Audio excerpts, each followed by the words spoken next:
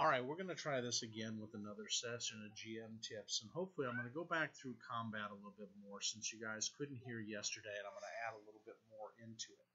So one of the things we're going to talk about uh, with any system, and, and I'm going to be using specifically the D20 style systems. So you're looking at your Dungeons and Dragons, you're looking at your Star Wars D20 probably, you're looking at Pathfinder, you are looking at, uh, in some cases, some of the other systems that have similar mechanics to it.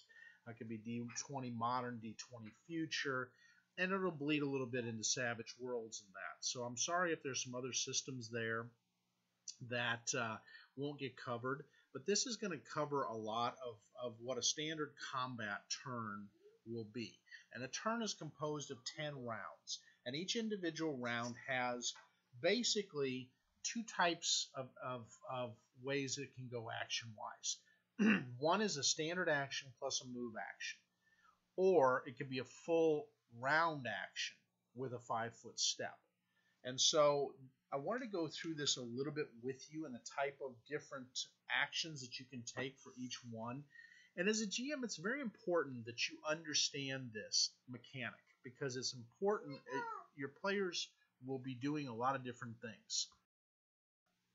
So let's first look at a dive down on the standard actions. And that's really important. Standard actions, they have a nice chart in page 183 of the Pathfinder books that has these actions. Now, each of your game um, master books should have this, whether it's a DM's guide whether it is a uh, the game mastery guide, the general one for Savage Worlds that you can use for Deadlands and all the other ones as a guideline, and even in some of those they have a, a GM's book.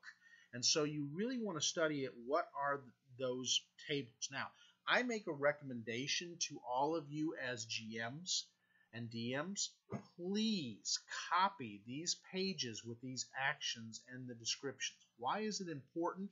Because when your combat round comes up, you want those in a clear sheet of uh, sheet protector sitting in front of you so that if you got any questions, you got this.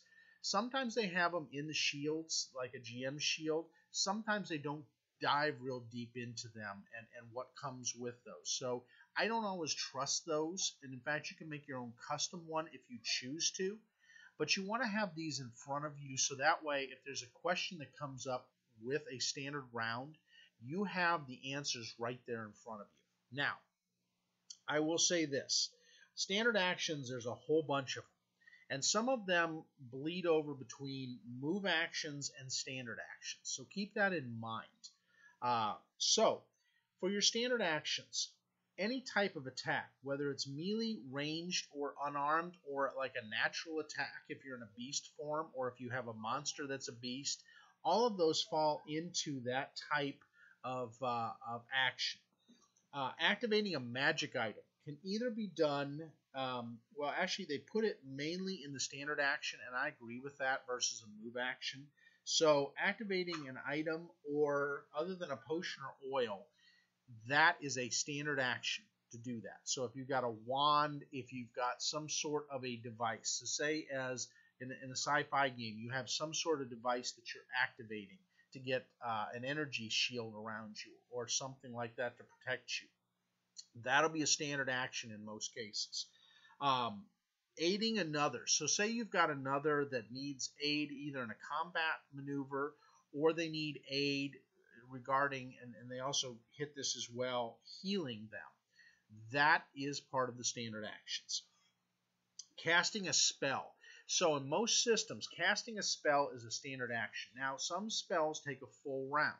So keep that in mind, and you're going to want to be able to go to the spell quickly that your players have. I've put marks in your books of all where the spells are so you can easily turn to that and find where those spells are.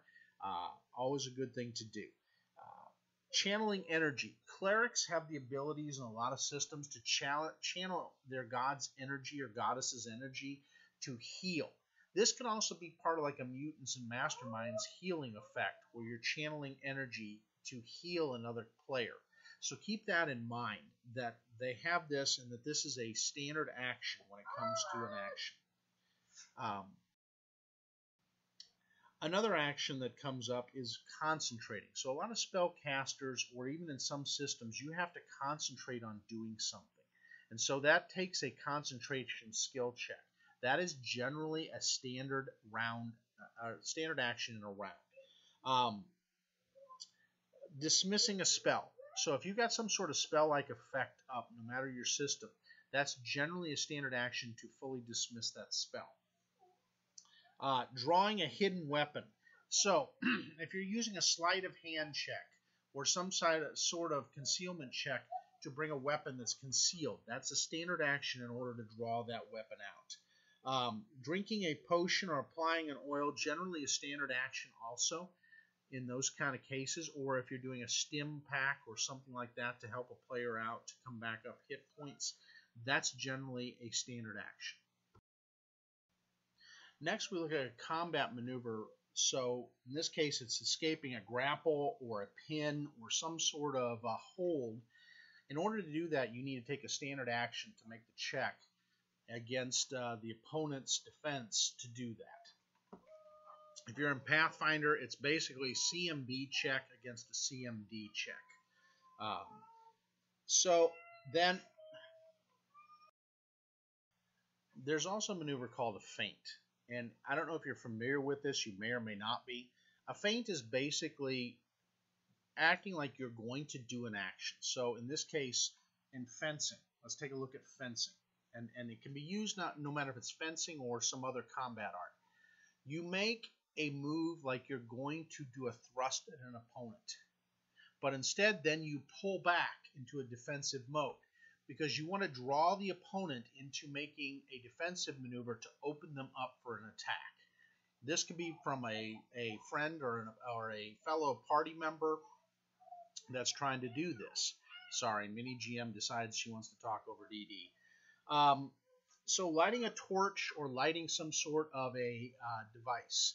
So whether it's lighting up a lantern, lighting up a torch, lighting up a fire, standard action to do that. Uh, lower your spell resistance. Some systems have spell resistance, which they use against the enemy.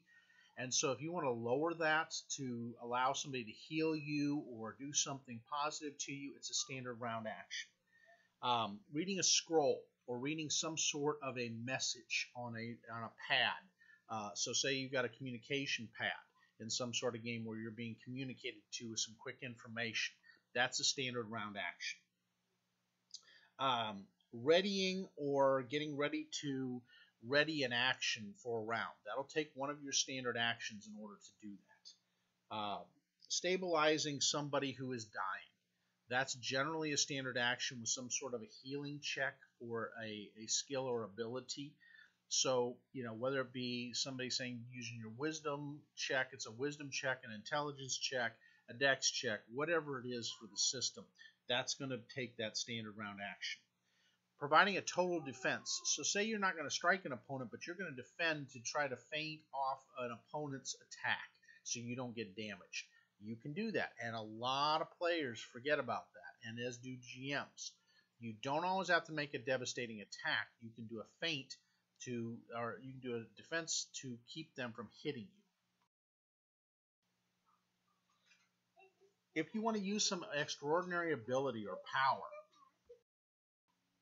when you're using that extraordinary ability or activating it, it generally takes a standard round action in order to do that. Um, using a skill that takes one action. Normally, so perfect example. You want to roll through an opponent's uh, attack of opportunity area and not get hit. So you want to do some sort of an acrobatics roll through there. So you do an acrobatics check. If you succeed the DC of that acrobatics check, that's a standard round action to do. Uh, using a spell-like ability. So if a creature is triggering a spell-like ability, a lot of devils, demons, outworldly creatures, magical creatures, uh, outsiders have spell-like abilities that act like a spell but aren't. They're just a triggerable ability. And so that takes a standard round action. And then a supernatural ability. So you're bringing in something, so say like you're doing a mental attack on a, a opponent that's usually a standard action.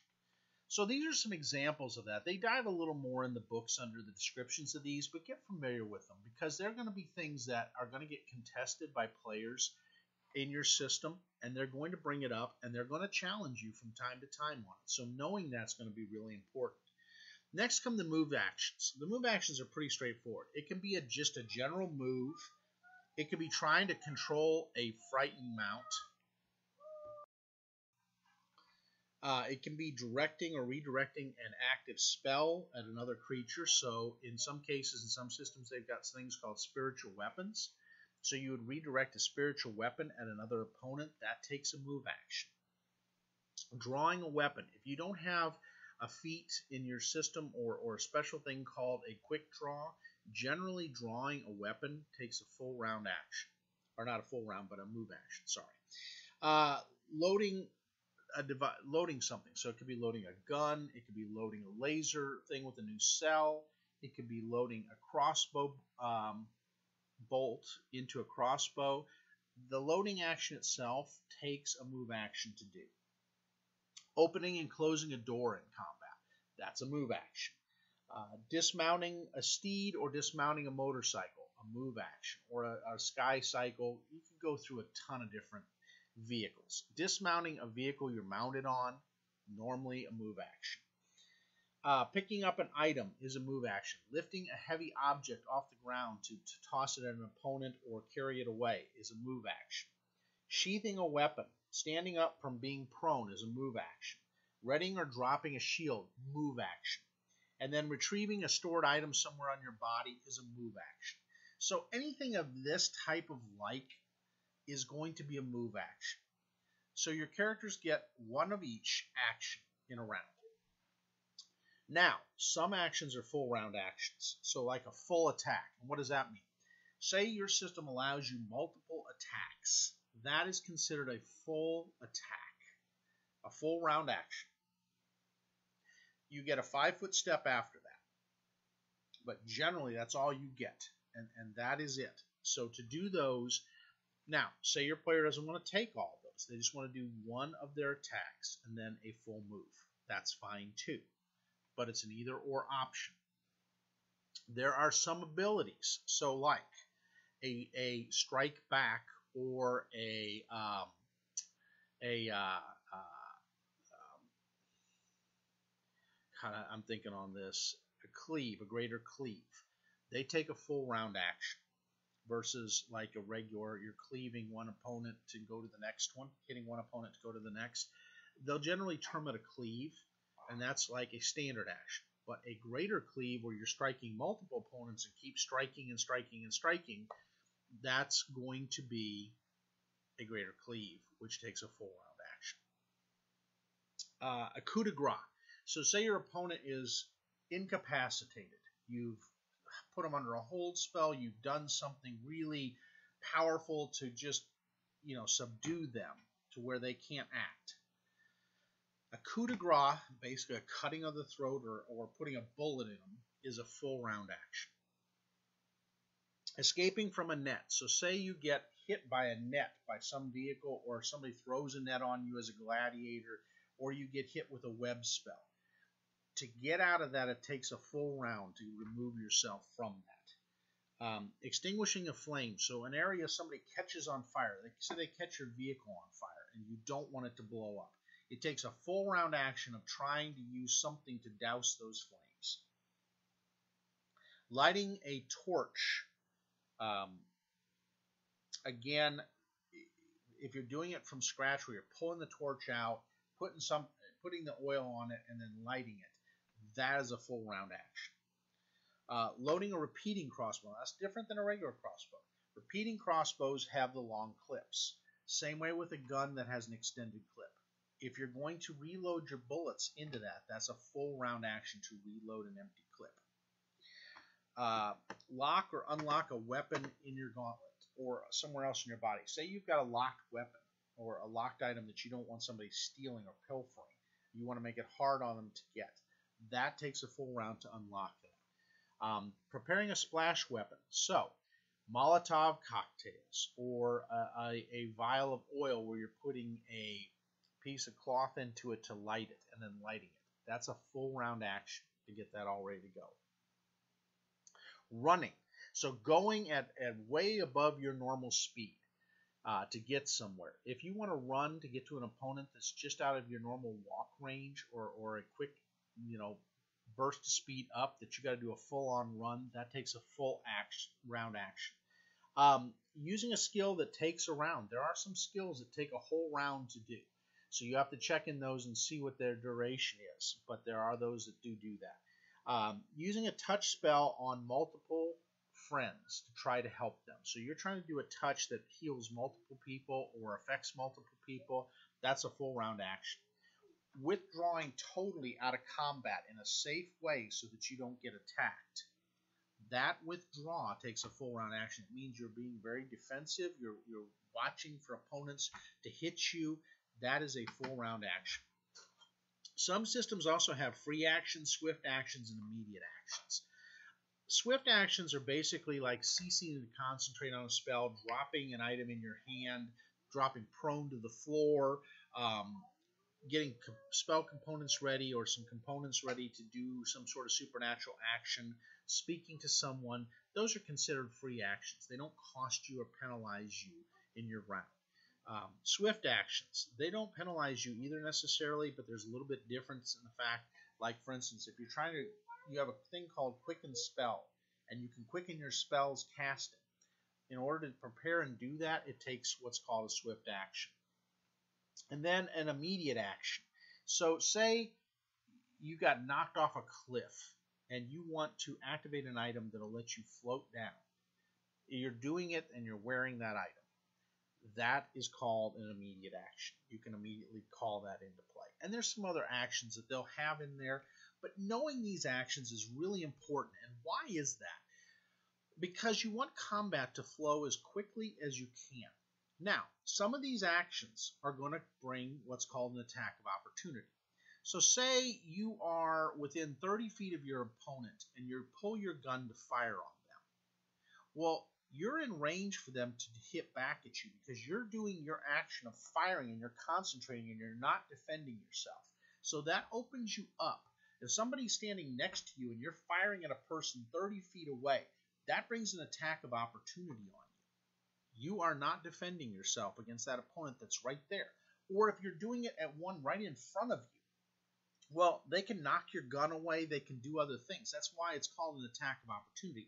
They're trying to respond to your attack to keep you from killing them. So it is called an attack of opportunity. You've opened yourself up. You are not paying attention to defending yourself. You have no means of easily defending yourself when you're doing that action. That's an attack of opportunity action. And they list them out in a lot of these things. Now, keep in mind that when you're doing these things, there's other complicated things that you can do in a round. And so, round things are very important but also understanding. And, and they've got some great charts. Like in a lot of the books, they'll put a chart that will explain attacks of opportunity. Get to know that. That's, you know, for you Pathfinders that are tuning in, page 181 of the core rulebook has that. It's not a bad page to print and again have with you and ready to go. Now, another thing that always happens in a round. So, say an opponent casts something on you that has an area of effect that you can use a um, saving throw to avoid. Saving throws are part of a round, and generally they are an ability score plus whatever that level of that class gives you in defense to that, plus any magic items, so cloaks of resistance, other type of items that afford you to, to do better at your check on your save of that. Make sure that you have that in there and add that in, and your players are doing that. Size modifiers. Does size matter? Oh, of course it does. And I'm not meaning that in a derogatory way.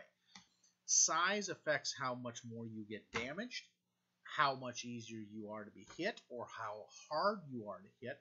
It's harder to hit a flying little sprite or fairy than it is to hit a hill giant. You know, come on. One's so obviously easy to hit. Now, they may have thicker skin, which helps them, but you're hitting something large. So you're much easier to do that. Well, remember, you're larger to some smaller opponents. So for them to hit you, you've got to take that into account as well. And there's tables for that. Again, for the Pathfinders, they have that on page 179 of the core rulebook. So it's something you want to look at. Um, what happens if you are disabled, injured, or, or die? You got to keep those things in mind. For most systems, when you're taken to zero hit points or zero health points or whatever they call it, you are incapacitated. You're still able to do some little things, but any major amount of movement is going to cause you to bleed out and die. So, you're limited in what you can do. Some classes give you features like a rage effect, which overcomes this, or some spells give you that. Keep that in mind so that the players cast those like Death Knell or some other things. You know what's going on to keep you healthy. Uh, dying. When you go negative, you are no longer conscious and you're dying. In a lot of systems, they'll give you a roll to try to stabilize every round, which means you're you're bleeding, but you're not bleeding out quickly. That's a stabilized check. Or somebody can heal you to get you back to zero to stabilize you. Normally, dead or death is when you go below your fortitude score, your your health or your constitution score, whatever the ability is that affects your overall health and hit points. When you go negative that, you are dead.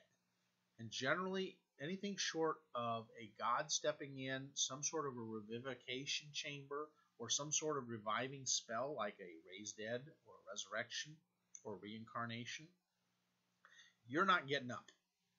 Now, it's up to you as a GM whether you want to allow a player to have some sort of divine intervention that brings them back. I've done that before in a couple of my sessions.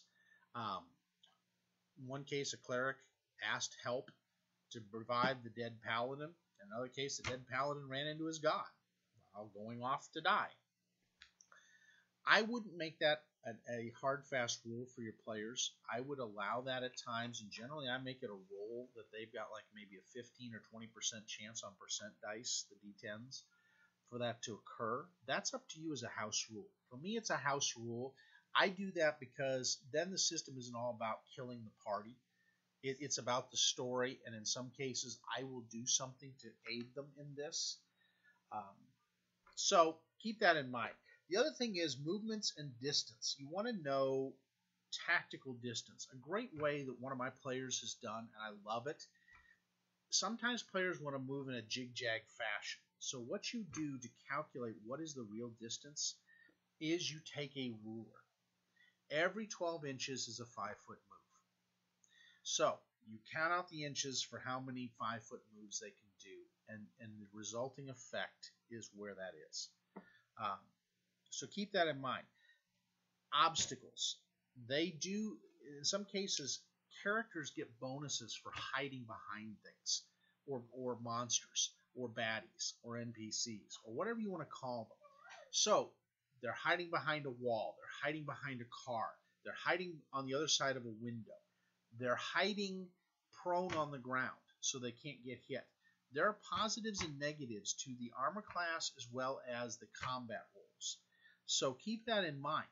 Sometimes putting yourself and aiming on a wall when you're firing at an opponent, especially with a crossbow or a firearm, steadies you and gives you bonuses because you're not as as random with kicks and the and the wind to be affected by the shot. So keep that in mind. There's for Pathfinders, page 195 in the core rulebook is really key. Find that in your core books. Again, another page to print out and have with you.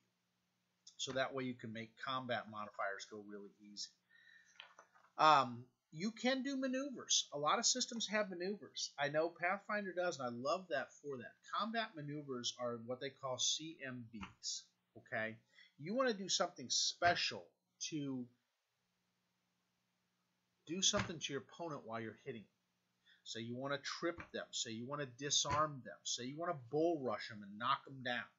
Um, overrun them, sunder their weapons, uh, trip them, uh, basically those type of things, knock a weapon out of their hand. That is going to be a roll of an attack of some form against the opponent's defense. How they do it in Pathfinder is pretty straightforward. They do your CMB is basically your base attack bonus plus your strength modifier plus any size modifiers that play in. Your CMD, your defense, combat maneuver defense, is 10. It starts out always at a base 10, plus your attack bonus, plus your strength, plus your dex, plus size modifiers. So keep that in mind. I love that because it's always trying to figure out are you is one going to overcome another, and in some cases it's really easy. Um, mounted combat. Mounted combat is a lot more difficult, and there's negatives to it. So keep in mind and look up what those are. In some cases, if you've got the ability to uh, ride, some of them have a ride ability or a drive ability under the skills. That helps you as a bonus to keep you from not blowing a shot at an opponent. Let's face it, moving, it's not easy to do a shot unless you're real good at it. Um, readying. So if you ready an action, but you don't want to do it, so say the initiative rolls come up. You get your rounds in initiative. Bob is first. Well, Bob wants to wait three people down until he sees what the monster's going to do, and then he's going to go on the same round as the monster. So, he waits and readies. No problem. Go through your other things in the round and you come to that creature. Then you look at their dexterity versus Bob's dexterity. Whoever's got the better dexterity goes first with their action. Now, in the combat order, Bob moves down to the monster's action. And that's when they go from that point on. Anytime they ready an action, when they take that action is where they are from now on in the combat. So keep that in mind. Those are all kind of important things when it comes to combat. And I think, you know, some other things, if you want to look at sundering, 175 in the Pathfinder's core rulebook gives you hardness versus hit points and the DC to break. So you can roll your DC check against with your sunder roll and if it overcomes that and it overcomes the hit points and the hardness, then it breaks and you sundered the item. That's pretty cool, especially like when you're using a katana versus a longsword and you sunder the sword or you sunder the armor and, and the armor's effectiveness goes down, making it easier to hit the opponent. These are maneuvers that don't always get used in combat because they're kind of in people's mind boring. No, they're not.